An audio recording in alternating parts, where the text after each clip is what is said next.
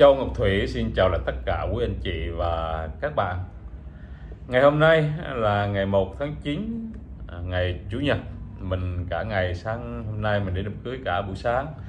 Bởi vì à, à, ba của chú rể là ông anh con ông bác của mình. À, Ông anh con bác ruột luôn đó. Thì là ông cùng một tuổi với mình hồi nhỏ mình với ổng hay đi chơi với nhau à, đi phá phách được với nhau nhưng mà ông mất cách đây 3 năm hồi cái mùa covid đó. Nhưng mà không phải là mất là vì bị covid mà vì bị điên vì vì vậy mà mình phải à, đi cùng với má cô dâu. À, đi cùng với má cô dâu trong cái lễ họ lễ à, cưới rồi. Lung lung tung hết cho nên cũng hơi bận rộn một tí à, vì à, không có ba thì à, có chú nhờ chú mà chỉ có mình là là là, là hợp nhất để đi trong cái chương trình. Vì mình là chú à, chú à, chú bác mình có ba cô dâu là chú bác cái này cũng gần à. Bây giờ à, mình à, chia sẻ một số mà chúng ta cũng cần nên biết. Và thường thì ngày xưa à, ngày xưa người dân chúng ta mỗi lần mùa lễ tới không có sâu sao không có nhộn nhịp như cái đời sống của người dân Việt Nam bây giờ. Vì ngày xưa đa số đều lo cơm áo gạo tiền. Cơm áo gạo tiền có thời giờ đâu mà đi thưởng thức và sống với cái thôn quê à, sống bên cạnh bờ sông bên cạnh núi bên cạnh biển và không thấy cái giá trị của nó vì chỉ biết làm ăn lo làm ăn cho nên không biết cái thưởng thức của cuộc sống. Nhưng bây giờ, quý vị có biết rằng là người này đi qua tỉnh nọ, người tỉnh nọ đi qua tỉnh kia, người tỉnh kia đi qua tỉnh khác nữa. Cho nên không cần người nước ngoài nồi chỉ người trong nước thôi là cũng đủ du lịch, cái đời sống du lịch của người, của Việt Nam chúng ta cũng là đã mở mang rồi. Mà cộng với những người ngoài quốc nữa thì thôi, tuyệt vời tuyệt vời. Và tại sao bây giờ người dân họ sống một cách không còn lo cơm áo gạo tiền, nhà cửa đâu gì cả? Vì vậy mà những cái dịp lễ lâu dài này, người ta đưa gia đình đi ra sông, ra suối, ra biển, chơi như tôi vừa kể đó. Vì vậy mà hầu như các khách sạn không còn chỗ trống. Điều đó cho chứng tỏ cho chúng ta thấy rằng là người Việt Nam chúng ta bây giờ là đang hưởng thụ. Chứ ngày xưa họ đâu có hưởng thụ được lo cơm áo gạo tiền quá. Thì bây giờ phải đầy đủ à, đầy đủ cho nên người ta mới nghĩ tới chuyện đi chơi mới nghĩ tới chuyện đi du lịch mới mới nghĩ cái chuyện đi lên suối lên núi rồi à, nấu ăn nướng thịt đồ giống như picnic ở bên Mỹ. Cái đời sống người dân Việt Nam bây giờ cũng sướng hơn đời sống của người dân bên Mỹ nữa. Bởi vì sau mùa lễ họ cũng không lo lắng gì. À, nhất là cái đầu tháng này. Đầu tháng thường thì ở bên Mỹ cái mà nhức đầu nhất là vào đầu tháng. Vì đầu tháng phải trả mọi thứ bill. Mỗi nhà ít nhất ví dụ là bạn mua nhà ít nhất bạn phải trả tệ lắm phải 6, 7, 8 cái bill. À, cái, cái, cái, cái giấy tính tiền đó à, mà bên Mỹ gọi là cái bill đó. Cho nên là nhức đầu à, ngày bây giờ nó còn đỡ là vì mình có thể trả trực tiếp trên mạng hoặc là nó từ vô ngân hàng nó lái luôn thì mình không quan tâm tới thì mình không nhức đầu. Nhưng mà ngày xưa đa số phải ký ngân phiếu các bạn cái thời mà internet chưa có chưa phát triển mạnh chưa có chuyển ngân đại khái như vậy thì phải ký ký ngân phiếu à, một tháng như vậy ký bảy tám cái ngân phiếu để gửi đi bảy tám nơi. Đó là cái tiền phải trả. Bạn không trả là không được. À, đó là cái tiền phải trả đó các bạn. Đó là chưa nói những cái tiền khác nữa là cũng phải trả nữa. Vì vậy mà nếu mà so sánh thì người dân Việt Nam chúng ta bây giờ quá sướng mà các bạn biết cái nữa vàng càng lên giá thì dân Việt Nam càng giàu. Đô la càng lên giá Việt Nam cũng càng giàu. À, bởi vì các bạn biết trong các bạn đi một cái đám cưới đi tiệc tôi cũng thấy anh chị nào anh nào đàn ông cũng mua mang dây chuyền vàng cả cả cả một một một lượng vàng chứ phải ra nhiều. Rồi nhiều bà mang vàng tùm lum tà lái như vậy chứng tỏ cho mọi người thấy rằng là người dân Việt Nam chúng ta bây giờ rất là sướng. À, ngày xưa các bạn thấy có bao nhiêu người phụ nữ thoa son thoa môi. Nhưng mà bây giờ thấy người nào cũng thoa son thoa môi. Điều đó cũng chứng tỏ cho chúng ta thấy rằng là đời sống của họ rất là sung sướng rất là sung túc. À, sung túc. Nên họ có nhiều thời giờ để trang điểm cho chính mình. Chứ ngày xưa các bạn thấy phụ nữ phải ra đồng ra biển mà cua bắt tôm rồi ra đồng cái lúa ra ruộng à, ra à, đất trồng rau trồng cải. Nhiều thứ tức là phụ nữ không được ngồi trong bóng mát. Thì bây giờ hầu hết phụ nữ họ đều ngồi trong bóng mát. Các bạn biết nữa à, nhiều khi họ đi lái xe là họ mặc ở Việt Nam có cái đồ chống nắng các bạn nha. Áo quần chống nắng. À, bạn nghĩ rằng là mặc đồ lạnh nhưng mà là đồ chống nắng. À, vì vậy mà da dẻ phụ nữ Việt Nam rất là đẹp. Nếu bây giờ so tới da à, tôi cũng xin chia sẻ một chút về da phụ nữ. Phụ nữ Việt Nam trong nước và da phụ nữ Việt Nam ở hải ngoại. Là nói chung cái dáng và da bữa nay tôi xin chia sẻ về các chị em phụ nữ một tí. Mình chia sẻ chống cộng hoài, nghe cũng chán lắm.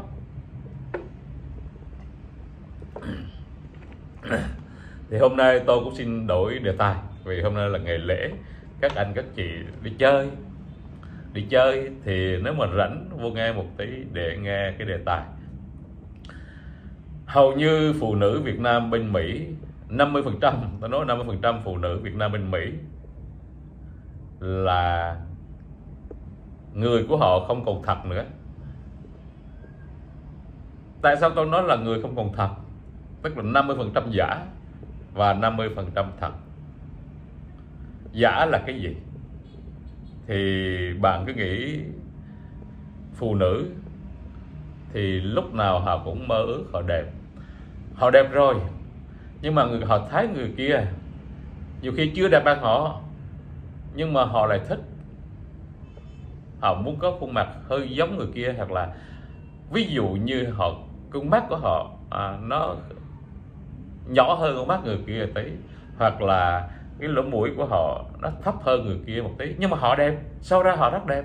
Nhưng mà họ thấy người kia cô kia lỗ mũi cao hơn tí. À, thì họ muốn lấy cái lỗ mũi cô kia để gắn vào cái lỗ mũi của họ. Gắn không được. Thì bằng cách nào? Đi thẩm mỹ. Rồi thấy cô kia có cái cầm trẻ à, mà có cầm trẻ cô đó cũng không đẹp bằng cô này. À, một cô khác tôi nói một cô khác cô kia cái mũi là quên qua bay đi giờ một cô cái cầm trẻ kia cô có cầm trẻ thì cô này dù không có cầm trẻ nhưng mà phải đẹp hơn cô kia. Thì bằng cách phải đi giải phẫu theo cái cầm trẻ nữa. rồi thấy gặp một cô khác thấy cái môi. Đẹp quá. To bự à, à, à, tràn ra ngoài một tí đẹp quá. Thì cũng bất chước một cô kia một tí. Rồi gặp một cô khác nữa. Thấy thấy bộ ngực à, hơi hấp dẫn một tí thì cũng bằng cách nào để làm cho bộ ngực bạn giống như cô ta? Vì vậy mà hầu hết 50% phụ nữ ở bên Mỹ là hết 50% giả trong con người của họ. Đó là lý do tại sao quý vị và các bạn thấy đa số phụ nữ về Việt Nam cô nào ít nhất một lần cũng phải vô thăm bác sĩ thẩm mỹ. Dù là đẹp cũng vẫn vô thăm bác sĩ thẩm mỹ một lần. Bởi vì ao ước lắm nhưng mà bên Mỹ tốn tiền quá. Thì có dịp về Việt Nam thay vì à, chẳng hạn như nâng cái cầm lên hoặc là nâng cái mũi lên một tí hoặc là nâng cái ngực lên một tí thì bên Mỹ tốn cả chục ngàn, cả bậc chục ngàn. Thì về Việt Nam rẻ hơn một nửa đi, hay là một phần tư. Thì thay vì là bên kia thì sẵn đó có một số tiền vừa về Việt Nam vừa đi chơi, mà vừa thăm bác sĩ thăm Mỹ. À. rồi, đó là những người thăm bác sĩ thẩm mỹ. Còn 50 phần 5 phần trăm còn lại của những người mà không đi thăm bác sĩ thẩm mỹ thì sao? Cũng có chứ, không phải không có. Đâu có phải ai là cũng đi thăm bác sĩ thẩm mỹ đâu bạn. Cho nên tôi nói chỉ có 50 phần trăm thôi. À. thì 50 phần trăm mà không đi thăm bác sĩ thẩm mỹ, thì tại sao cái da mặt của họ xấu hơn da mặt của phụ nữ ở trong Việt Nam? Vì các bạn biết rằng các phụ nữ Việt Nam ở bên Mỹ đó khi họ ra khỏi nhà họ phải mất một tiếng đồng hồ để cứ thoa tới thoa lui thoa xuôi thoa ngược thoa cho đến khi nào mà nó dài một trục rồi thôi. Là lúc đó mới vừa ý được. Lúc đó là con người của mình nó đã giả à, thành giả bắt rồi. Càng đẹp bao nhiêu là thành càng giả bao nhiêu. Cũng vì cái chất đó cái chất kem, trong kem nó có đủ loại chất ở trong đó. Kể cả có chất hóa học. Các bạn đừng có nói rằng là trong cái kem thoa mặt không có chất hóa học nha. Có chứ. Nhưng mà được sự chấp nhận của FDA vì nó có chỉ cần một phần nào đó thôi. Dù hạt không cũng được, nhưng mà nó phải có pha trộn để nó thành một cái chất kem. Chất kem như thế này, chất kem như thế kia, chất kem như thế nọ và nó để cho nó giữ lại cho lâu nữa. Đó là nó phải pha trộn nhiều thứ ở trong đó. Và ở Mỹ nó nóng thì nó nóng mùa hè thì nó nóng tàn canh. Mùa đông thì nó lạnh. Không rét da nhưng mà tuyết phủ đại. Cái đó cũng làm cho cái da à, cái da mặt của các chị em phụ nữ bên Mỹ đó nó bị nếu mà không trang điểm quý vị thử nghĩ lại nhìn vô các chị em phụ nữ bên Mỹ đó nhìn vô đi khi bạn không trang điểm bạn thấy cái da của bạn nó bị sần sùi ở trong đó nó không được mướt mát à, đẹp một cách tự nhiên.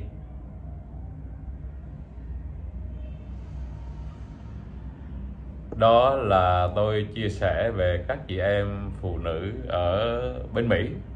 Và thêm nữa các chị em làm tiếp xúc với hóa học trong khi làm công việc móng tay. Sơn nó cũng có chất hóa học ở trong đó. Đó rồi đủ thứ à, nói chung là đủ thứ và ngửi ở trong người nữa. Và hàng ngày nó tiếp xúc với cái da nữa. Vì khi đất đừng cò thì phải sát sát sát sát vậy. Thì dĩ nhiên cái da nó phải, nó cũng có hít những cái chất đó. Dù không sát đi chăng nữa thì cái chất acetone nó nó cũng lẫn quẩn vài trong tiệm. Thì nó dễ dàng dính vào trong da mình. Ngày nào nó cũng vậy. Lâu ngày thì cái da nó không có được tươi mát, không có được mướt gọi là mướt nha. Mướt như một cái da bình thường của các chị em phụ nữ. Đó là cái lý do mà các chị em phụ nữ ở trong nước cái da của họ đẹp hơn các chị em phụ nữ ở nước ngoài như tôi đã chia sẻ. Vì họ không có thoa son thoa phấn. Nhiều chị không có thoa son gì hết nhưng mà tôi thấy cái da rất là đẹp. À, không có một chút tôi thấy nhìn không thấy một chút thôi son phấn đâu cả mà da rất là đẹp. Đợt một phần nhờ mà tôi chia sẻ hồi vào phần đầu đó, là mặc cái bộ đồ chống nắng, rồi mang cái khăn chống bụi, khăn chống đủ thứ hết nữa, rồi mang đôi kiến nữa. Thì giống như người bên Trung Đông quý vị, thì làm sao mà da nó không tốt cho đẹp, cho được, không đẹp cho được. Vì cái đấu khăn nồi cái đó nó mát, nó đã che được cái da, nó làm cho cái da mát mẻ, nó được tươi rồi. Đó vì vậy các bạn, tôi đem so sánh một vị phụ nữ 50 tuổi ở Việt Nam và một vị phụ nữ 450 đi 40 đến năm 40 trở lên đến 45 trở lên với một người phụ nữ 45 tuổi ở bên Mỹ. Thì hai cái so sánh đó tôi thấy như cái trường hợp mà tôi chia sẻ cho quý anh chị và các bạn hồi nãy tới giờ.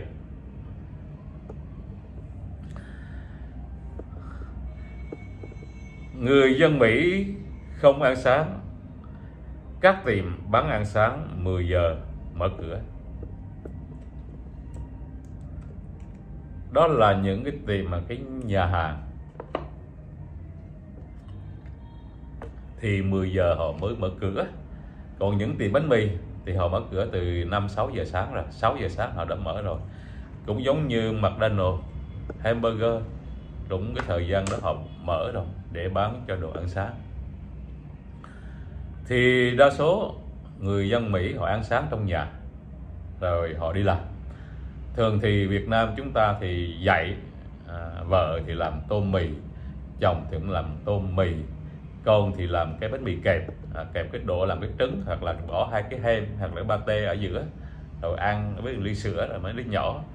Còn mấy anh tô mì mấy anh à, bánh mì không là những họ ăn cái bánh mì kẹp à, cái trứng cái, cái pate kẹp lại rồi ăn. Rồi có người thì mua bánh mì nếu mà người Việt Nam thì họ mua bánh mì bánh mì Việt Nam đó. Rồi về bỏ trong tủ lạnh. À, bỏ trong tủ lạnh để nó giữ. Chứ không thôi để nó ngồi là nó hư nó không có qua một ngày là nó bóp là nó dầu nó nát rồi. Cho nên đa số bỏ tủ lạnh. Rồi khi ăn đó mới đem ra bỏ nước lại. À, đó là ăn bánh mì Việt Nam ở bên Mỹ đó, đó các bạn. Còn trong khi bánh mì ở Việt Nam thì buổi sáng là có người đưa bánh mì tới tận xe bánh mì luôn. Hết gọi xe khác họ đưa bánh mì tới. À, hết gọi xe tới chứ không cần phải đi tới tiệm bánh mì lái à, Việt Nam văn minh bây giờ là văn minh. Bất cứ những người buôn bán cái gì cũng vậy kể cả buôn bán bún buôn bán thịt buôn bán phở thiếu là gọi là người có người ta chở tới gọi là người ta chở tới. Hết thịt người ta cũng chở tới hết bún người ta cũng chở tới, hết phở người ta cũng chở tới cho các bạn. Chỉ ngồi từ mình nấu thôi. Đó đó là cái tôi thấy những cái nồi cái làm ăn như vậy thôi, tôi thấy cũng đã sướng rồi. Làm ăn ở Việt Nam đã sướng hơn là làm ăn bên Mỹ rồi. Rồi trở lại cái vấn đề ăn sáng.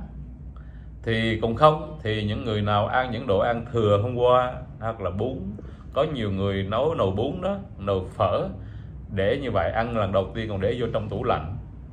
Múc ra bỏ đông đá hoặc là bỏ trong tủ lạnh bạc lại cho kín. Mỗi lần ăn đó là đem ra múc một cái sâu nhỏ nhỏ rồi hâm lại. Rồi bún thì bún khô. À, bún khô bỏ vô nồi luộc ra hoặc là phở.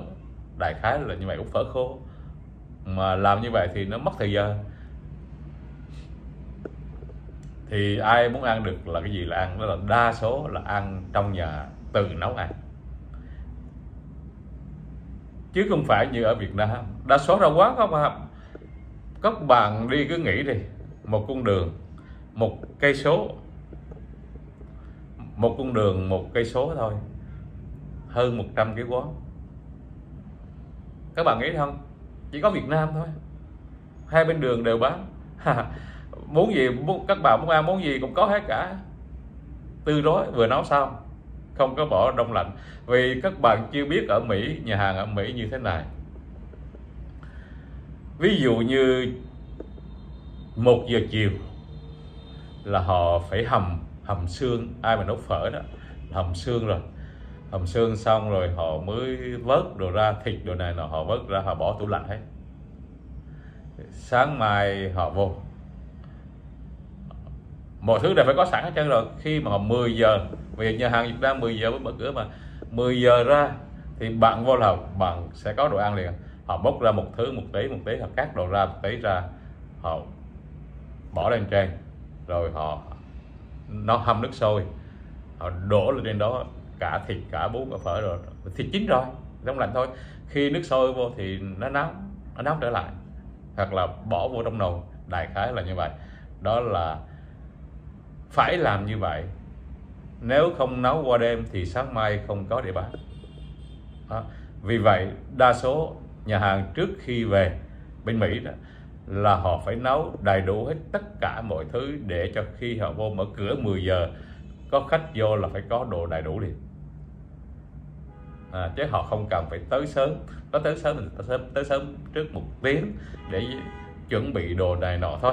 Chứ còn mọi thứ họ đã có sẵn rồi còn ở Việt Nam chúng ta thì sát ra họ dạy sát ra họ mới nấu. Cho nên quán nào cũng đông khách hết. À, dù là đa số là quán bình dân à, quán vỉa hè hay là quán trong nhà hay là quán ngoài hiên. Cà phê thì cũng đông khách bún cá cũng đông khách cháo làm cũng đông khách phở cũng đông khách bún giò cũng đông khách bánh mì thì sắp hàng. bánh mì Hawaii Đà Nẵng là có cái bánh mì Hawaii rất là ngon. Hôm trước tôi vô Phan Thiết à, đi cái vụ mà dự cái à, cuộc mà thi tranh giải tennis mà của lớn lắm của cả nước mà do đứa em em rể con của ông chú đó, trong à, đồng à, phó phó à, phó trưởng ban tổ chức thì nó rủ vô chơi. Thèm bánh mì Hawaii đi kiếm không có ở Phan Thiết. Còn mấy khác tôi biết không có hay không như bà Đà Nẵng quý vị đi vòng vòng ở đâu cũng có bánh mì heo quay rất là ngon tuyệt vời. Mà heo quay heo, heo quay sữa nha các bạn. Heo quay mới ra lò luôn chứ không phải là là dở đâu. Heo quay sữa rất là ngon.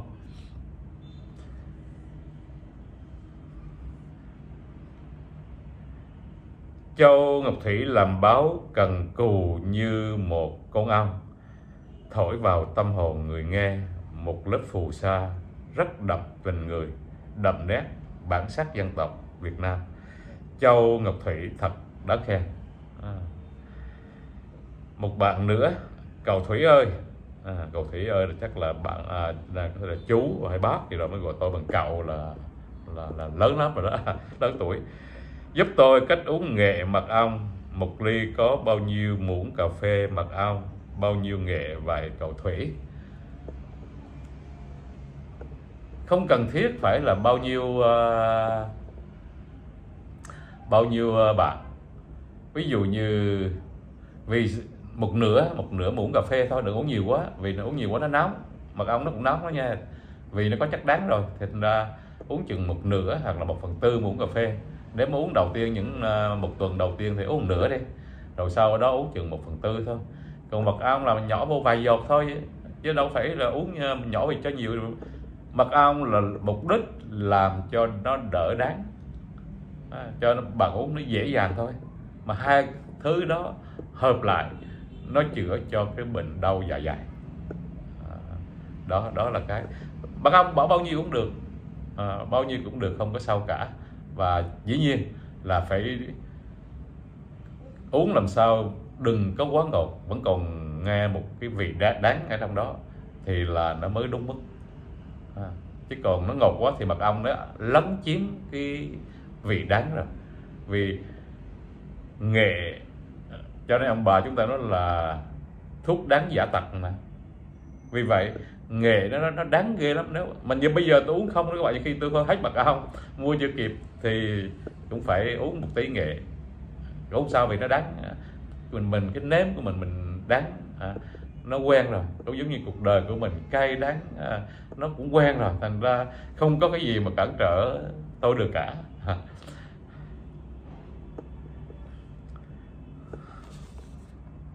Chào Châu Trương ủng hộ anh Thủy. Chúc mừng anh vui vẻ ở tổ quốc mình. Sống ở Việt Nam không lo lắng điều gì cả.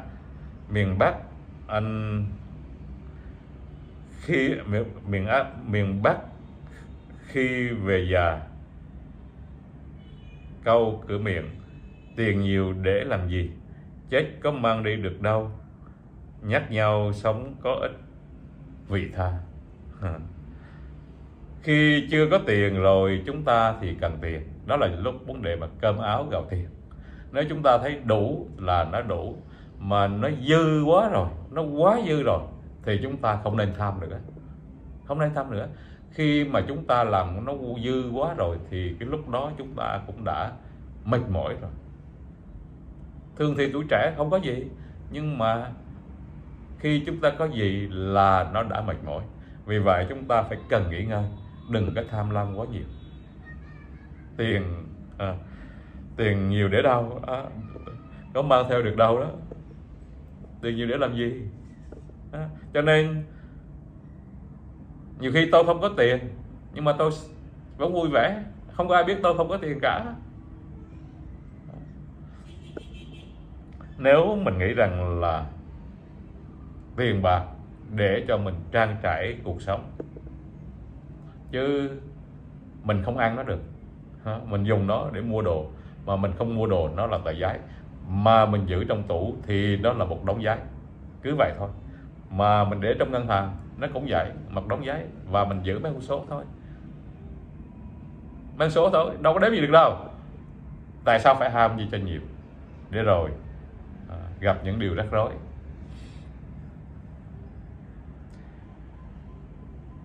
Mới biết đến kênh của anh Châu Ngọc Thủy nhưng mình thấy cách phân tích vấn đề rất mộc mạc và dễ hiểu. Từ Lào Cai luôn theo dõi, ủng hộ kênh. Chúc kênh luôn phát triển.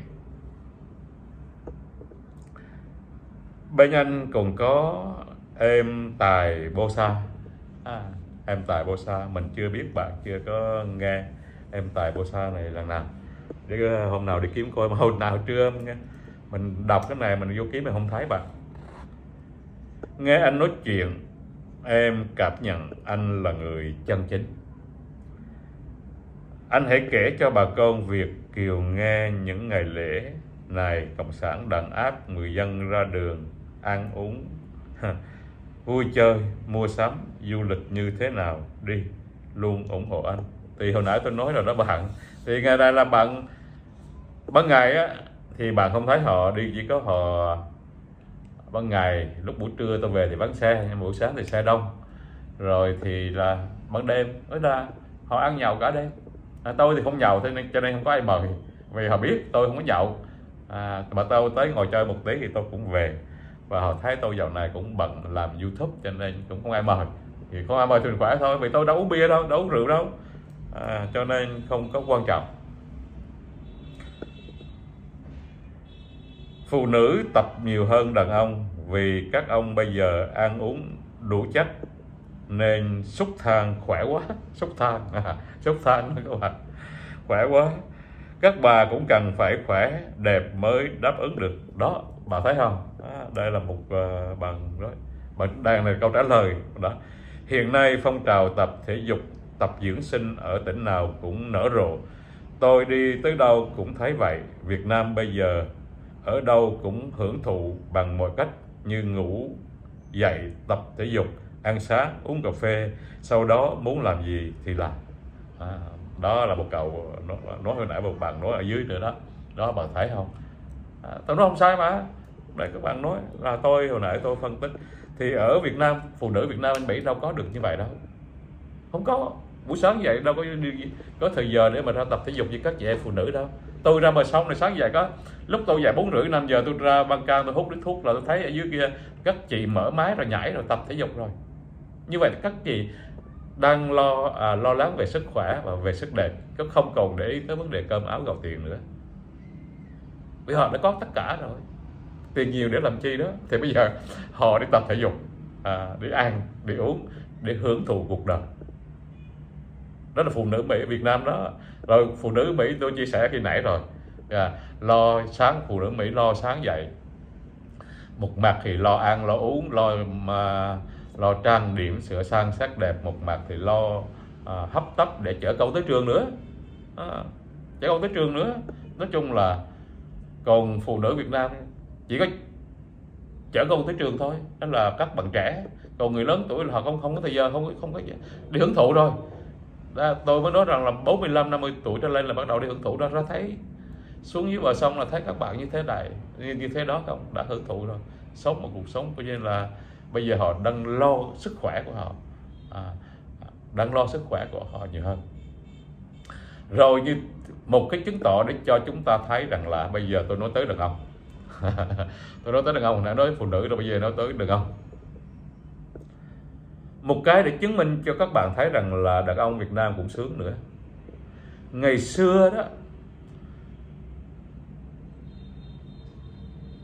trong làng trong xóm bạn gặp 10 người đàn ông, chỉ thấy được một người đàn ông bụng bự, thì mọi người đều cho đó là một bụng bự thì sang rồi. Ông ông nói sang lắm sang. Sang là vì sao? Lúc những người đó là những người họ có tiền, họ ăn, họ nhậu, uống bia, cho nên bụng họ nó bự, thì người ta gọi nó là sang.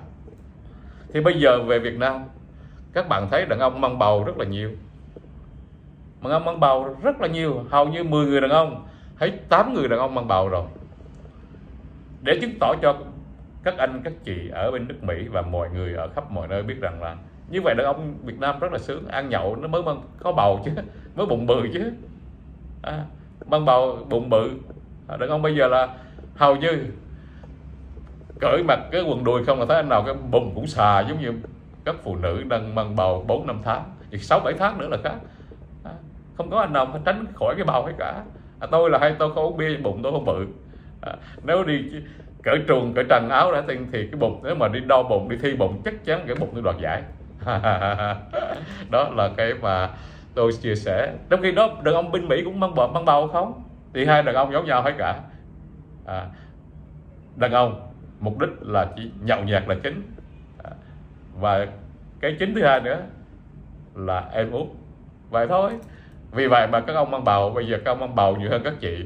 Các chị thì bây giờ mà các chị nào mà sinh đẻ ra bụng bự thì bây giờ phải cố gắng đi tập thể dục mỗi sáng mỗi chiều để cho cái bụng nó thôn lại. À, mà các anh không tập được. Các anh à, anh không tập được đi bộ nhiều lắm mà đi bộ. Là vì bây giờ cái bụng nó nặng quá đi nó mệt chứ đâu phải giỡn đâu các bạn. À, cái bụng nó bự thì con người nó to con ra. Thay vì ngày xưa có 60 kg mà bây giờ mang cái bầu tăng lên thành 70 75 kg thì đi thêm nó nặng thêm một tí. Và một câu cuối cùng. À, chưa à, một à, luôn ủng hộ em. À, có ông anh này à, cái clip nào cũng luôn ủng hộ cho nên à, phải đọc. À, và một câu cuối cùng nữa.